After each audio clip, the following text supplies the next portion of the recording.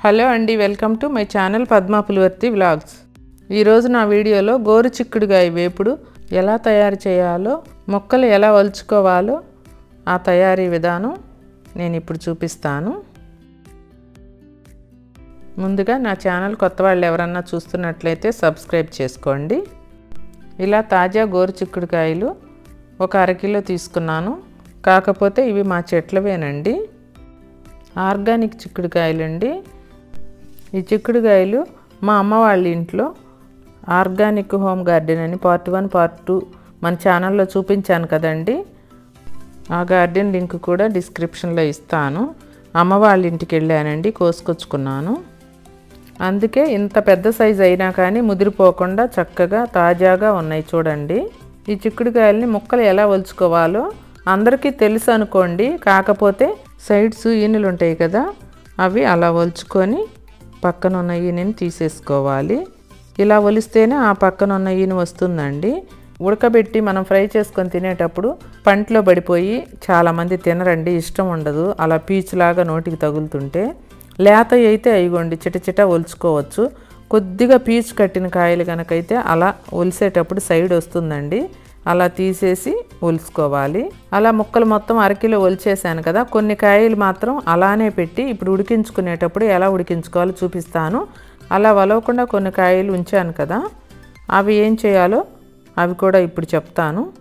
ఆ ఒలిచిన చిక్కుడుగాయ ముక్కలు కుక్కర్లో పోసాను కదా ఒలవకుండా కొన్ని చిక్కుళ్ళు అట్టి పెట్టాను కదా ఆ చిక్కుడుకాయలని కూడా ఆ ముక్కల పైన పెట్టుకొని కొద్దిగా కల్లుప్పు వేసుకుందాము. సరిపోయినంత అండి ఒక గ్లాసు నీళ్ళు పోసేద్దాము ఆ ముక్కల్లో. అలా నీళ్ళు పోసాం కదా. కుక్కర్ మూత పెట్టి వెయిట్ పెట్టేసి ఒక్క రెండు విజిల్స్ వస్తే చాలండి. గోరు చిక్కుడుకాయలు ఊరికే ఉడికిపోతాయి. విడిగా కూడా ఉడకబెట్టుకోవచ్చు. కాకపోతే కుక్కర్లో పెడుతున్నాను నేను. ఒక్క టూ విజిల్స్ వస్తేనే చూడండి ఎలా ఉడికిపోయాయో. ఈ ఉడికిన ముక్కల్ని స్ట్రైనర్లో వడపోసుకుంటే కొద్దిగా నీళ్ళు వస్తే అవి దిగిపోతాయండి. ఆ వాటర్ మొత్తం దిగిపోయింది కదా ఆరిపోయేసరికి పొడి పొడిలాడుతూ వస్తాయండి చిక్కుడుకాయ ముక్కలు. ఆ చిక్కుడుకాయ ముక్కలు పచ్చివే ఒలిసాను కదా నేను. ఇప్పుడు ఇవి కాయలుగా ఉడికించాను కదా కొన్ని. వాటిని ఎందుకంటే అలా ఈయన ఎలా తీయాలో చూపించడానికి ఆ సైడ్ అంత పీచు ఉందనుకోండి అలా ఈయన తీయకపోతే కొంచెం చిన్నపిల్లలకి కూడా గోరుచిక్కుడికాయ ఆరోగ్యానికి మంచిదే కాబట్టి కొంచెం పళ్ళు లేకుండా అలా పళ్ళలో గ్యాప్ ఉన్న వాళ్ళు ఆ పీచు ఇరుక్కుంటుంది కదండి. అందుకని ఇలా ఉడికించుకొని కనుక మనం మెత్తగా తీసుకున్నామంటే ఈయన స్మూత్గా మనం ఫ్రై చేసుకొని రైస్లో కలుపుకొని తినేయచ్చు. ఈయన తగలకుండా మనకి బంగాళదుంప ఫ్రై అలాంటివి తిన్న ఫీలింగ్తోనే ఉంటుంది. ఈయన లేకుండా కనుకుంటే గోరుచిక్కుడుకాయ పీచుండి అలా అని చాలామంది తినరు కదా. ఇలా ఒలుచుకుంటే అసలు గోరుచిక్కుడుకాయ అని కూడా అనుకోరు.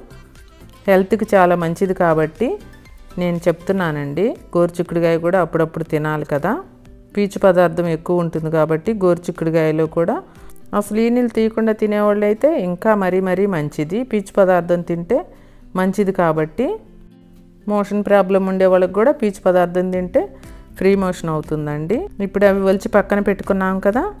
మిక్సీ జార్ తీసుకొని ఐదు ఎండుమిరపకాయలు ఒక ఐదు వెల్లుల్లి రేకలు కొద్దిగా జీలకర్ర ఒక స్పూను. ఒక స్పూన్ ధనియాలు వేసుకొని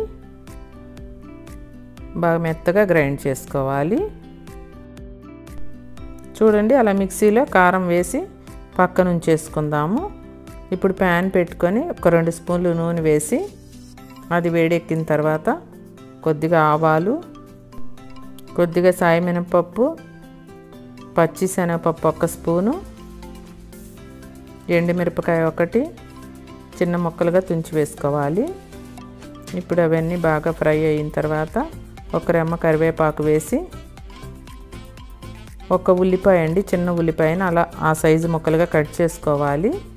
ఇవన్నీ వేసి కొద్దిగా వేగిన తర్వాత ఒక అర స్పూన్ పసుపు వేసాను ఒక్కసారి అలా కలిపిన తర్వాత పసుపు వేసి ఆ కారాన్ని ఆ తాలింపులో వేసేసి కొద్దిగా అలా ఫ్రై చేయాలి.